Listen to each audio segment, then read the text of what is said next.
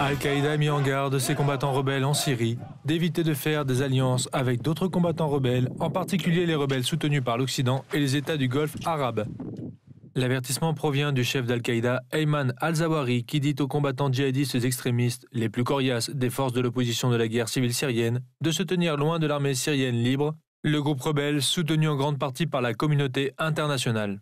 Les analystes estiment que les commentaires d'Al-Zawahiri montrent une rupture croissante dans l'opposition luttant contre le président syrien Bachar al-Assad. Des rapports récents montrent que les islamistes radicaux ne sont pas plus nombreux que les rebelles laïcs et modérés, mais les experts estiment que des groupes comme le Front al-Nusra liés à Al-Qaïda sont beaucoup mieux organisés, financés, armés et entraînés.